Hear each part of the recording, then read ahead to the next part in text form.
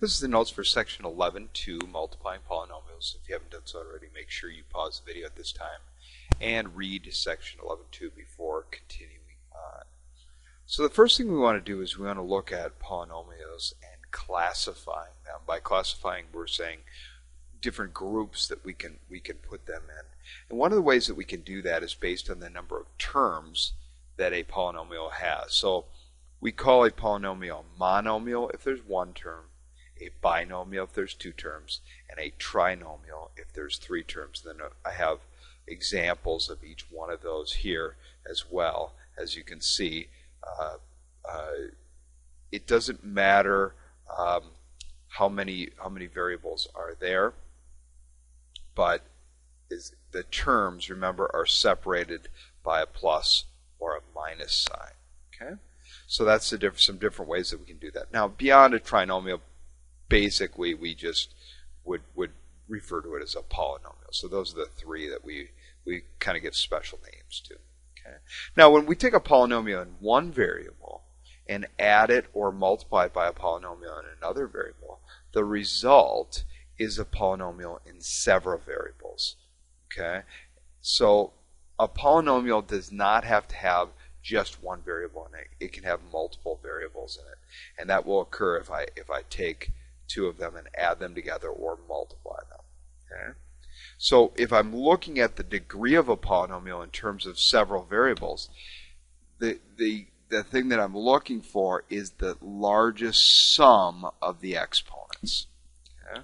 So as I look at the variables on each term, I'm going to add the powers of the exponents together to get the degree of that term, and then whatever the largest degree of any one term is, that represents the degree of that polynomial.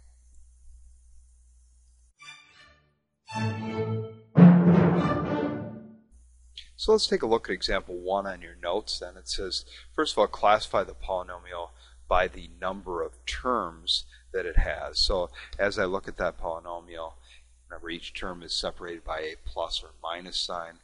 Therefore, since there is one, two, three terms, we would say this is a trinomial. And then part B says, what is the degree of that trinomial? Well, the degree, remember, is the sum of the of the of the exponents for all of the variables in any one term.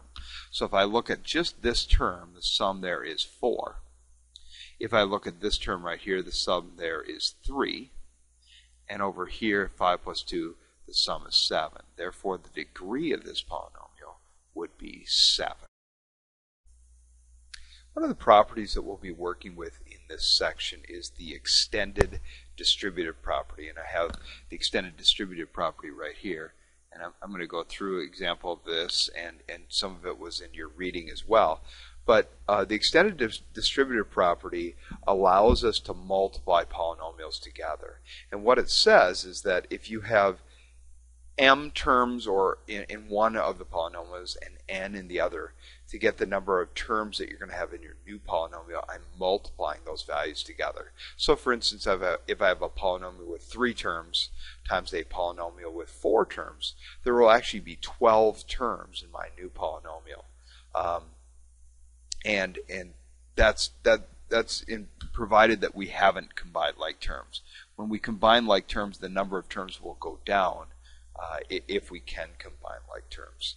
So for instance, if I if I were to take 3x plus 2 times 5x squared plus 3x plus 1. I'm not going to multiply this together right now, but when I do, since there's two terms here and there are three terms here, my final answer will have a total of six terms before I combine like terms. At this time, if you haven't, you might want to review uh, example number one on page 739, and then I'll go through the extended uh, distributive property here in example two.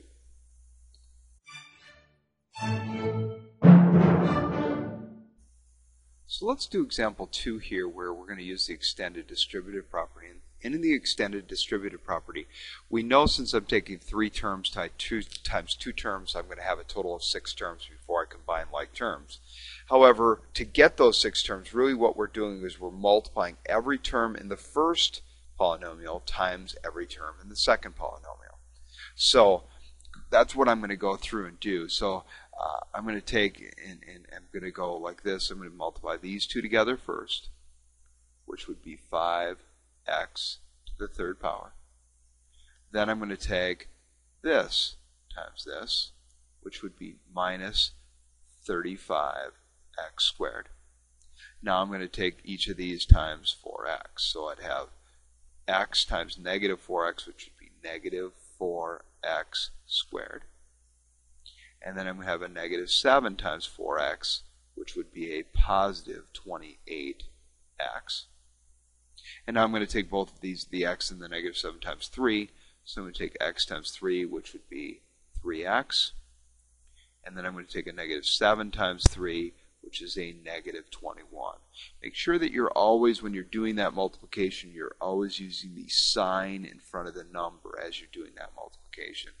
Now you'll notice when I'm done, I have a total of six terms.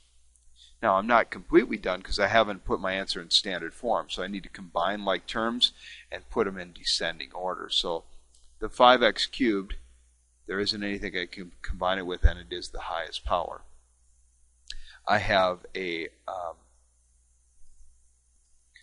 I have negative 35x squared and a negative 4x squared. If I put that together, that's going to be a negative 39x squared.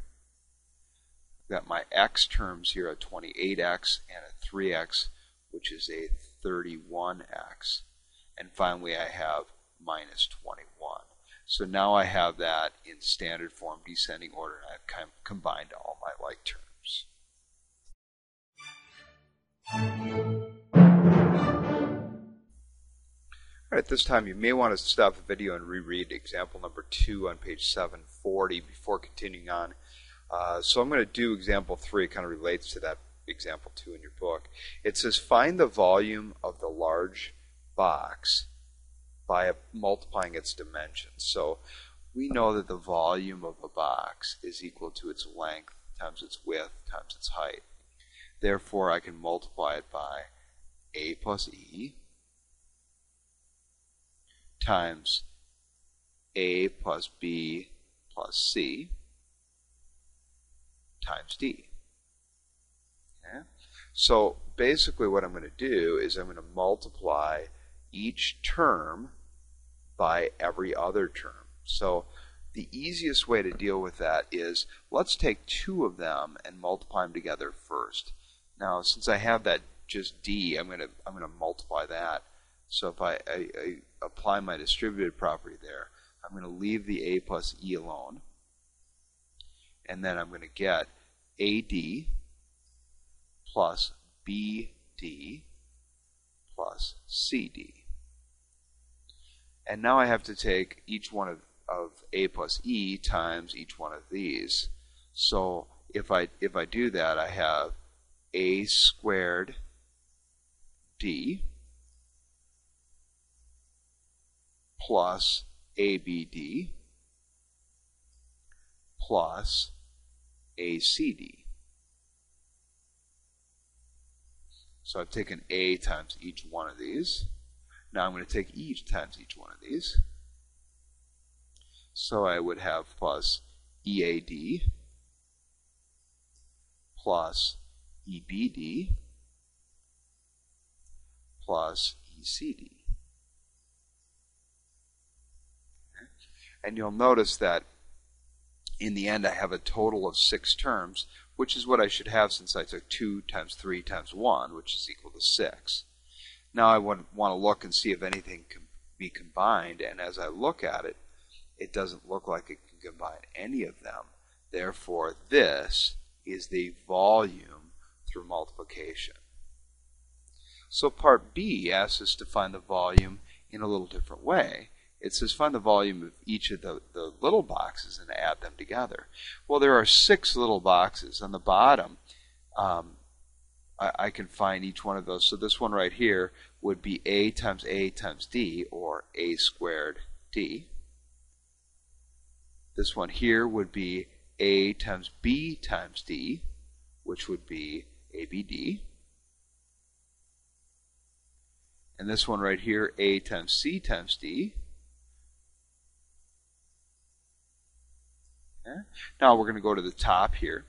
So this one would be E times A times D. And as you can see, it's matching up exactly with what we did for part A. And then here we have EBD. And finally, this last one would be E times C times D. Exactly what we got when we did the multiplication. So in part C, it just shows that they're the same, and, and as you can see, both A and B are exactly the same values.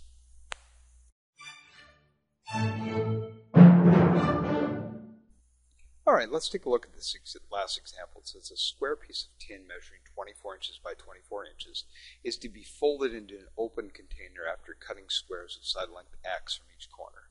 Let v of x be the volume of the box. Write a polynomial for the formula for the volume in terms of x in standard form. So let's draw a picture of what we have going on here. So if that's the case, I have this box. It's 24 by 24. This is my tin. And I'm going to cut the corners out so that each corner is x by x. Something like this. So this distance is 24, this distance is 24 here. Well, I know that in general the volume is equal to the length times the width times the height. So if I do it in terms of v of x, the length would be 24 but then I'm cutting an x out here and an x here, so it'd be 24 minus 2x. The width would be the same thing, 24 minus 2x. And then the height of this box, since since I'm going to fold these edges up at these corners, each, each that height is going to be x. So there's my, my dimensions for that volume. Now I want to put that in standard form, so I need to expand that out. So I'm going to do it by using my FOIL method on this, or you can think about just using your um, um, uh, binomial square theorem. So you have the first number squared, which is 576, the last number squared, which is 4x squared, and then remember it's 2 times the first term times the second term, so that would be minus 48x. Okay? Now I have to take that still times x. Well, if I do that, I'm going to do it kind of in the reverse order so I can get it standard form. So I have a 4x squared times x, which would be 4x cubed. I have a, oh, I'm sorry, this middle term I have wrong.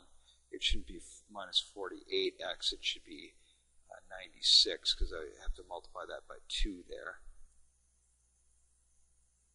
So it should be minus 96x here. So uh, this would be, then here it would be minus 96x squared. And then I have a, uh, uh, x times 576 would be plus 576x. So I now have the, the volume here in standard form. Notice that in, the terms are in descending order by the exponents. So then part BS is to find what is the maximum possible volume. To do that, what I'm going to do is I'm going to, I'm going to take my, my uh, equation for the volume or the, the function for the volume and, and enter it in my graphing calculator and, and find where that maximum value is. Well, if you think about it, I want to think about the window I'd be looking at. So my x value has to be somewhere between 0 and 12 because if, if my side, each side length is 24, the most x value that I could cut out of each side would be 12. So, um, so I'm going to set up my window on my graphing calculator to be from 0 to 12. Okay? And then for my y max, I just picked like 2000. You might want to play around with that a little bit. I, don't know exactly what the max is, but I, I, thought I would just put in a number high and just kind of see where it's at. If you find that your graph goes off the screen, you'd want to change that y max. So if I go ahead and, and hit enter on that, and I've, I've graphed that function for me. So this is what it looks like. So I know that my max is coming somewhere in here. So let's go ahead and find that. So I'm going to go to menu or up to menu and then analyze and we want to find the maximum.